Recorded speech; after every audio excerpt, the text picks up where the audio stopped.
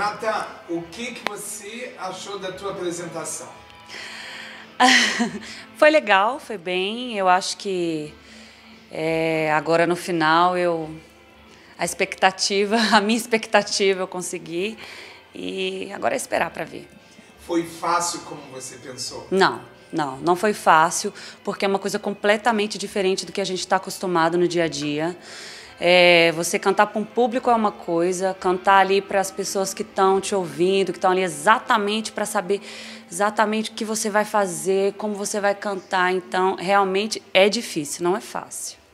Você indo para a final, quem você levaria junto? Quem eu levaria? E Nossa. Por quê? É tão complicado porque todos os participantes foram maravilhosos, né? Fica um pouco complicado de, de, de escolher. Mas eu acho que eu levaria. Eu levaria o Júlio porque ele é muito engraçado. Você imagina eu estar tá com ele junto comigo, gente, ia ser muito legal.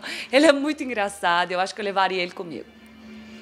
Fala desse prêmio, desse desafio da música e interpretação para você.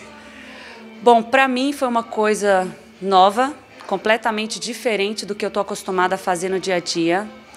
E me engrandeceu, assim, me, me, realmente acho que foi um degrau a mais que eu subi aí na minha vida, porque realmente eu estou saindo um pouco assim, eu estou saindo satisfeita e bem agradecida. Obrigada. Superação. Muito obrigado. Superação, Renata. exatamente. Obrigada.